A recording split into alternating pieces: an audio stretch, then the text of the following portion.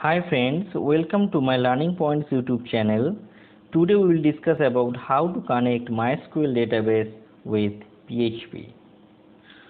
We know that PHP is server-side language. To run PHP we need one server.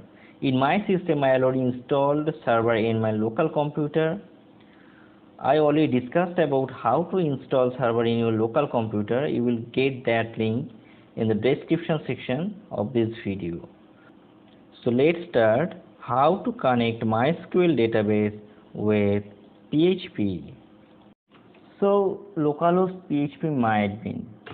This is my database link. We can access database by providing correct username and password. So here in dashboard you can see this menu and dashboard SQL status many things and you can see there is a database server option and web server option and PHP admin you can see the server type that is MySQL and the PHP extension MySQLi curl MVC and PHP version 7.2.24 so now we are going to create database. Two way we can create by using uh, our SQL statement or we can write we can create database manual from UI so here we will create one database. The database query is very simple. Suppose I am creating database. My database name is tutorial. You can select a collation as your preference but by default I am not selecting any and uh, by I am using default one. So now our database is created. The database name is tutorial.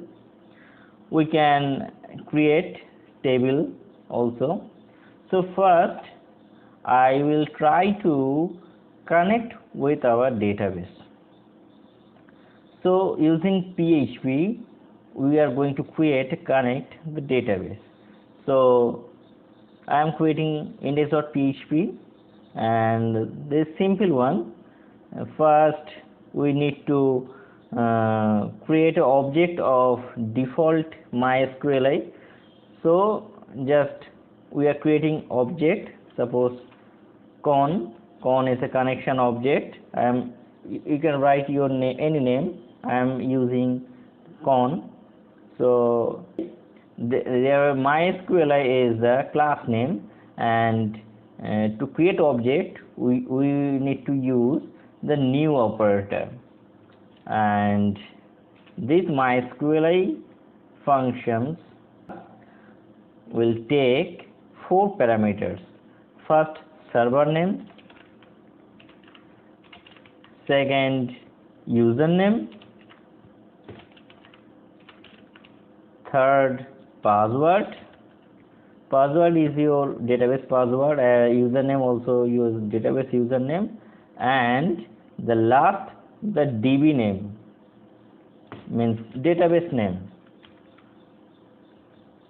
so so I am declaring the four variables. We need to send value to this function. So here my server name is localhost. My username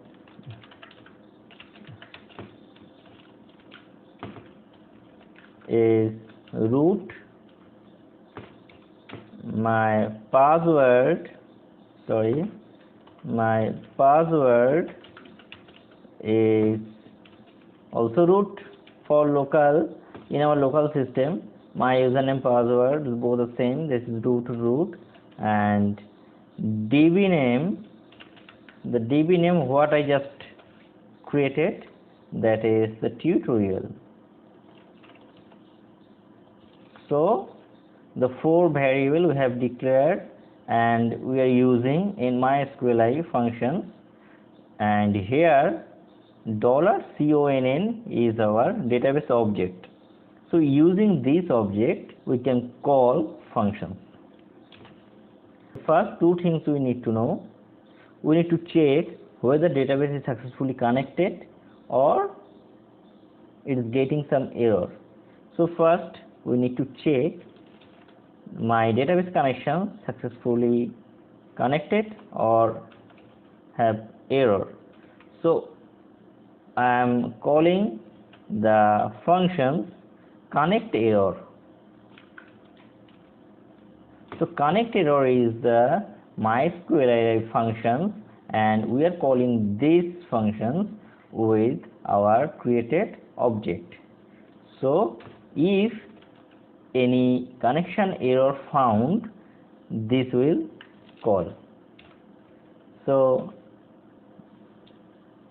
I am writing statement connection error. Otherwise it will echo connection successful. Connection successful. So we are trying to run this. This is our tutorial database and we are going to run this. This is connection successful. So we will check one thing. Suppose if I write some wrong things means I try to generate the connection error function.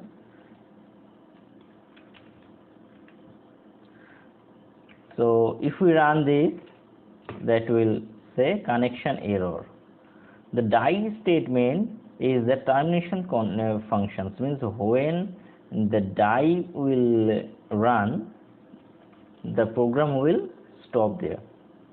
So we are successfully connected our database with PHP so I will try to add one table in our database and I will try to fetch some records from that database so our database name is tutorial. I try to create one table that is very simply way the create table. I am using the student table. Okay and the column is 4 no problem on that. Okay I will just for example I am taking three columns. So here I am setting ID as integer and it is auto increment and primary key. So the first name first name and the last name. That's all. First name and last name. As it is varchar varchar 255 and it also varchar 255 and saving this. So here we can see in our database one table is created. That is student table so I am going to insert some data manually. I, I, I will just try to fetch data from PHP so I am using the student one student okay. Then f name 1 l name 1 f name 2 for second record f name 2 and l name 2 okay? So if we go then inserted row 2 so if we browse we can see there is two records in the student table. So now I am going to fetch these records using the PHP okay so I am using just simple uh, to separate from the previous text okay? To fetch record from student table we need to write a query. To select star from table is the query so we need to write in our php so i am declaring a variable sql and I am writing select star from the table name is student. So this is our query. Now I am going to run this query. So I am storing our result in result variable and we need to call each function with our defined object that is con query and uh, we need to pass the SQL. So in result variable all the query result will store. So now to display the resulted output we need to print the result. As the result format will appear as an array for that reason here echo will not work. We need to print the array. So how to print array? The print array is the syntax to print array. So we are going to print result. Result and I want to fetch all. So the SQL function I need to call the fetch all function to display it properly we need to use pre pre is the HTML syntax. We can write an echo also. So if we run this so we can get all records from student. Now let's see what happened.